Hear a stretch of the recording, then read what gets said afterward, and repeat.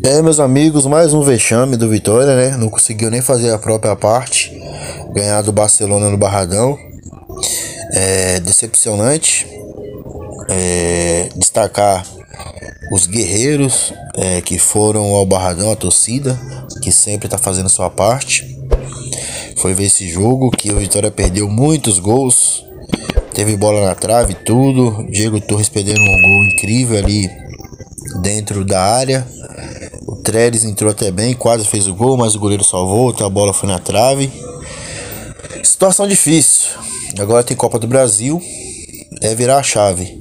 É, eu não tô muito bem de saúde, tô passando por problema aí. Eu tive um derrame no olho, então não vou gravar nem vídeo mostrando o rosto, beleza? Mas tô me recuperando, vou no médico. E a situação do Vitória é crítica, é crítica. Agora vamos ver aí na Copa do Brasil se esses jogadores têm vergonha na cara e ganha. E fora Edgar Montemor, fora. Fora, fora, fora, já deu. E esse técnico aí, Léo Condé também, meu Deus do céu. Sei que a culpa não é só do técnico, mas esse técnico aí é muito medroso. Em vez de entrar com dois centroavante logo para ir pro abafa, não, ele sempre faz a mesma coisa. Tira o Léo Gamalho e coloca o Trellis. Só tira um e coloca outro. Nunca coloca o time bem ofensivo, tem medo de atacar, não sei o que que é. Fica difícil. Eduardo novamente não fez nada.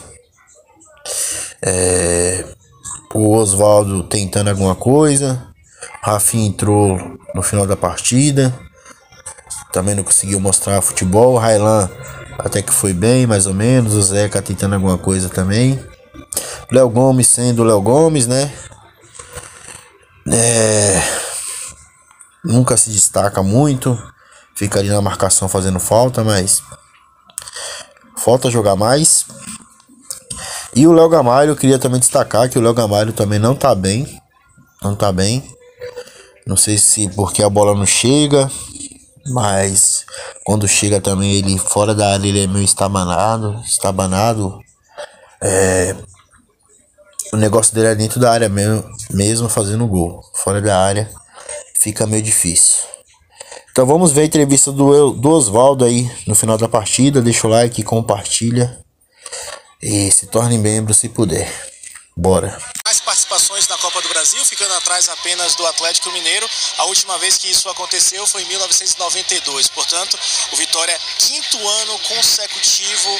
É, tem esse detalhe aí, só isso, né? Vai ficar fora da Copa do Brasil do ano que vem. Vexatório, hein? Essa gestão aí do Fábio Mota. Um vexame atrás do outro. Fora das semifinais do Campeonato Baiano e o protesto do torcedor é absolutamente justo. Walter. Juliana Lisboa traz as informações. Tô aqui com o Oswaldo, um dos caras que tentou muito nesse segundo tempo. O Vitória fez uma verdadeira blitz, praticamente encurralou Barcelona no seu setor defensivo, mas o gol não saiu. O que foi que aconteceu, Oswaldo? É, criamos, pegamos uma equipe com o propósito de se defender o tempo inteiro. Né? A gente sabe que fica difícil, não tem muito espaço ali para ter jogados, mesmo assim ainda criamos. Duas bolas na trave, o goleiro dele acabou pegando uma bola ali, bola passando, a gente não conseguiu finalizar em gol. Mas é assim, é continuar trabalhando, a fase não, não ajuda também. A fase tá tão feia que eu fui procurar o Vitória para apostar na Bet Nacional para colocar como campeão da Copa do Brasil, só para tentar a sorte e ver quanto que tava pagando. E a, Bet Nacional, que é patrocinadora do Vitória, nem colocou Vitória como opção, colocou Vitória do Espírito Santo, mas não colocou o nosso Vitória.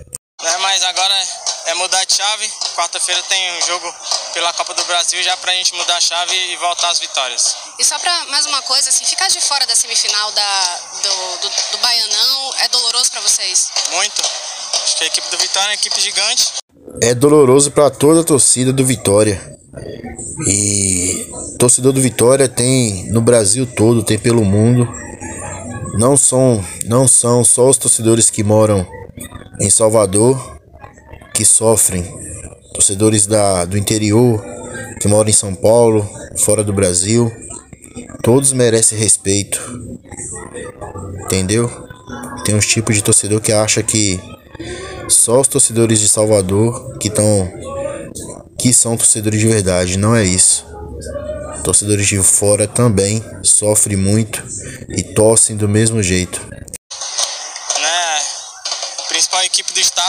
Acho que a gente tem que realmente lamentar muito, né, ver o que a gente está tá precisando melhorar para a gente tentar o mais rápido possível voltar às vitórias. Muito obrigado, Oswaldo. Sem mais delongas. E for depender do Bahia ganhar, o Bahia não tá ganhando nem para eles mesmos. Imagina ganhar para ajudar o Vitória. Eu mesmo não esperava muita coisa não.